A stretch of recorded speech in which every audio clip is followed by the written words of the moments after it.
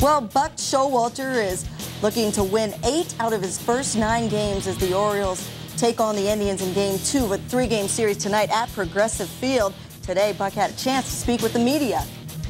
I saw Josh Bell out in the field early getting Mm-hmm. some work in.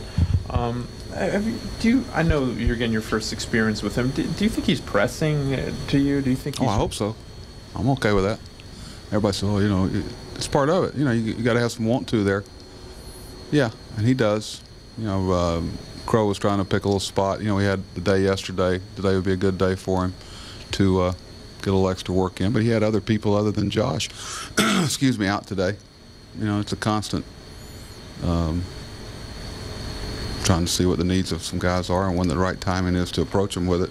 So, you know, I, I think everybody, it depends on how you define pressing, you know, putting too much pressure on yourself or whatever. Well, I'd a lot rather him have that amount of caring than thinking, que sera, sera, this is always going to be here, you know. I want him to have a sense of urgency.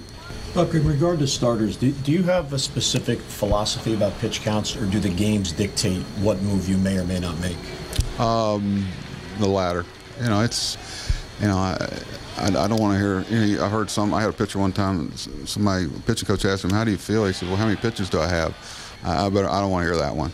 You know, it's uh, it's part of the process. You know, some guys. uh, Randy Johnson was just getting warmed up at 100 pitches, and of course he's a little bit. He was a freak of nature as far as what he could do, but uh, every guy's different. You got to take each case differently. To put a blanket over guys and say this number of innings is enough for him to throw this year. Every guy's different. That's why that relationship, you know, between front office and down here, there's got to be a respect for what each party can bring and tell you that the other one can't.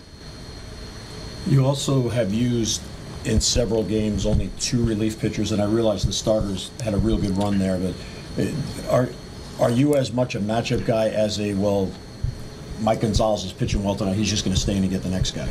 Well, it's sometimes I think, especially in American League, you run yourself out of pitching in a hurry, and uh, realize that runs uh, aren't at such a premium a lot of times. But uh, no, I'm, I'm going to run out there who's best for the job, and it's not always going to be a pure matchup. I'll bet you somewhere along the line, uh, Gonzalez has got a right-hand hitter out, and somewhere along the line, uh, Hendrickson's got a right-hand hitter out. You know, I don't want them looking over the dugout. Ever. There'll be a time when the match, when it's that part of the game, and, and the health of our guys is not in jeopardy. But I'm I spend a lot of time looking at the bullpen card and who needs to pitch. I, you know, I was really wanted to get uh, Gabino out there last night. He needed to get on the bump, and uh, want to put Tatum behind the plate with him to at least have a comfort level. Didn't look too good for a while there, but you could see when he started breaking out the slider why some people are excited about him. He's got a special. He's got a pretty good slider.